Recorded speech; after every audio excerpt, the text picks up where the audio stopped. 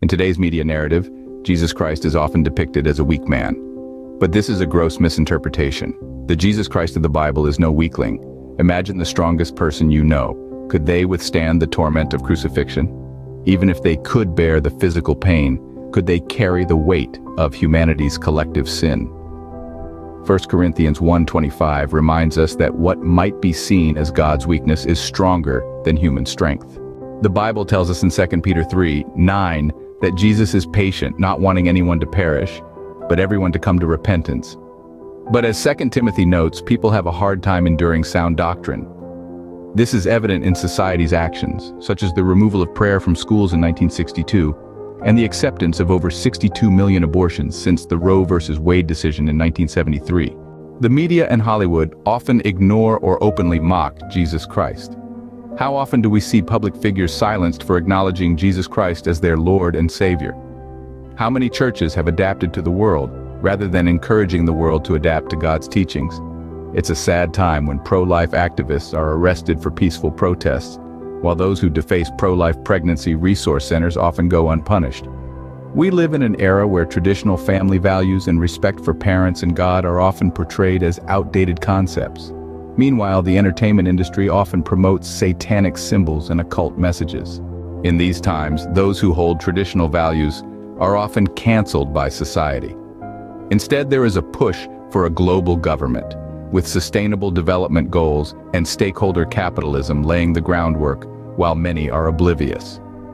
With the rise of quantum computing and artificial intelligence, we are fast approaching the time of the tribulation period described in the Bible.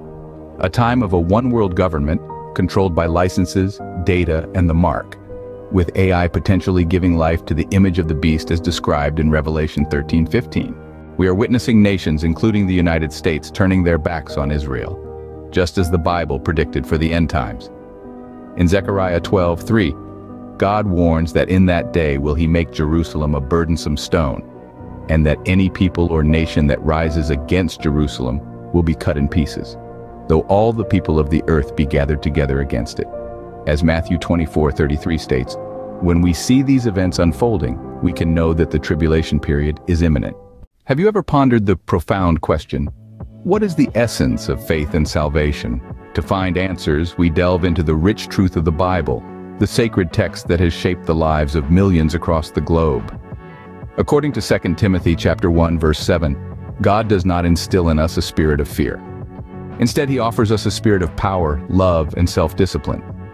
This spirit is rooted in trust, specifically in Jesus Christ, our Lord and Savior. Despite the looming tribulation period, and the impending arrival of the Antichrist. Those who have found salvation in Jesus Christ have no reason to fear. They are reassured by the word of God that the devil will ultimately be defeated. Yet, the urgency of the present moment cannot be understated. The message of salvation through Jesus Christ needs to be shared with those who are lost. It is crucial to ensure that these individuals are taken up in the rapture, as described in 1 Corinthians chapter 15 verse 52. This way they won't have to endure the tribulation period and encounter the Antichrist and his mark.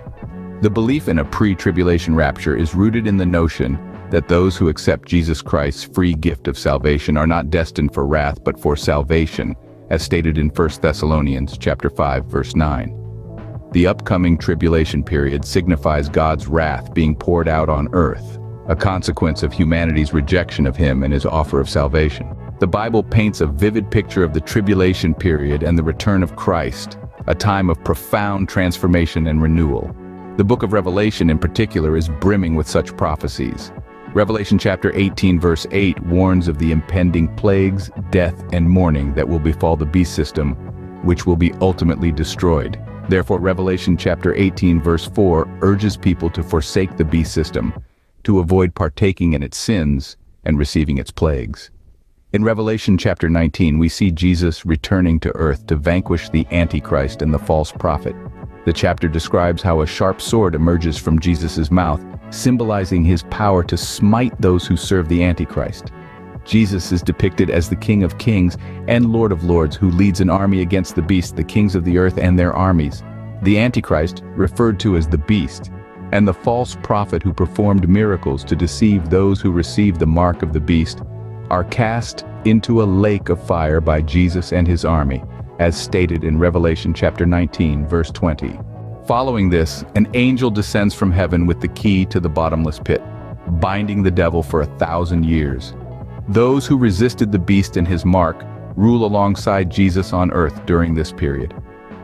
When the thousand years elapse, Satan is released from his prison to deceive the nations once again. However, God's divine protection prevails, and Satan is cast into the lake of fire and brimstone, joining the beast and the false prophet.